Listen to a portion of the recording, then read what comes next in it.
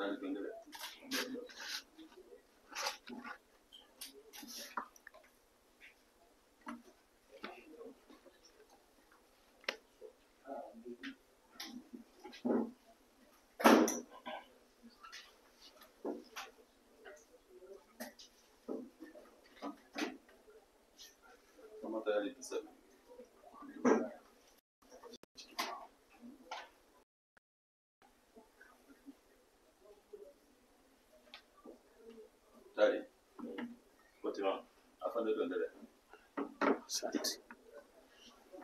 Septemba kumi na moja ishirini ishirini na nne kupitia vyombo vya habari na mitandao ya kijamii walisikika viongozi wa Chama cha Demokrasia na Maendeleo Chadema akiwemo mwenyekiti wa chama hicho akiwahamasisha wananchi wa jiji la Dar es Salaam wa kata na mitaa yote kuingia barabarani kuanzia Septemba 23, 2024.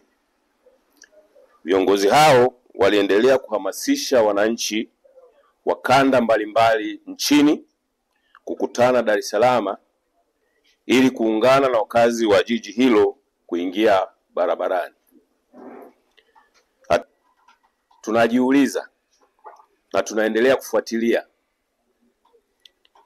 na kuchunguza kwa nini wanataka kututoa kwenye reli ya hatua za kiupelelezi zinazoendelea baada ya Rais wa Jamhuri ya Muungano wa Tanzania na Amiri Jeshi Mkuu Mheshimiwa Dr. Samia Suluhu Hassan kuelekeza au kuviagiza vyombo vya uchunguzi vifanye uchunguzi kisha wawasilishe taarifa kwake.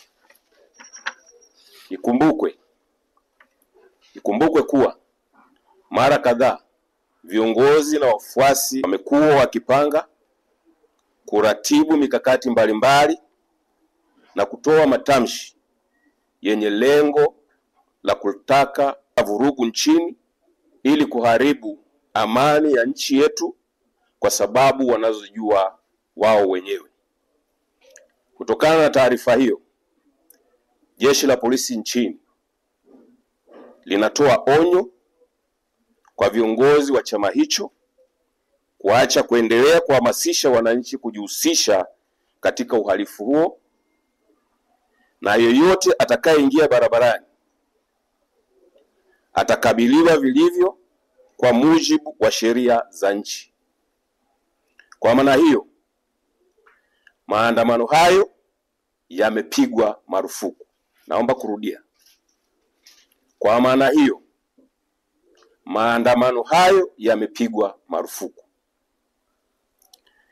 Jeshi la polisi linatoa linatoa katazo kwa yeyote aliyealikwa, kuelekezwa kufika Dar es Salaam kutoka mkoa wowote ule kwa ajili ya maandamano hayo asithubutu kufanya hivyo, kwani maandamano hayo ni haramu na hayatafanyika.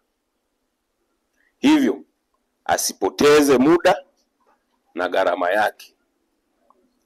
Jeshi la polisi nchini inaendelea kutoa rai kwa wananchi wapenda amani kutokubali kurubuniwa, kudanganywa au kushawishiwa kwa namna yoyote ile kushiriki katika maandamano haya, na badala yake waendelee kushirikiana na jeshi la polisi kutoa taarifa za viashiria vyovyote vya uvunjifu wa amani.